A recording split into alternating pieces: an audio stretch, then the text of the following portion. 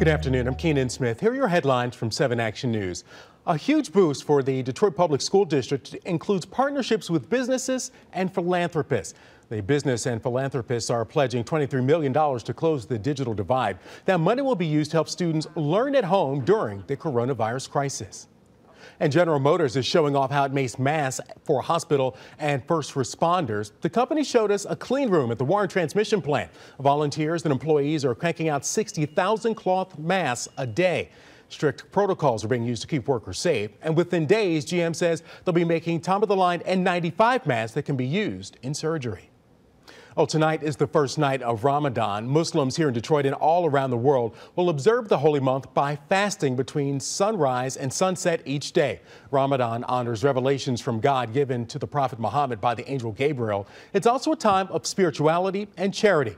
Ramadan continues through the evening of May 23rd.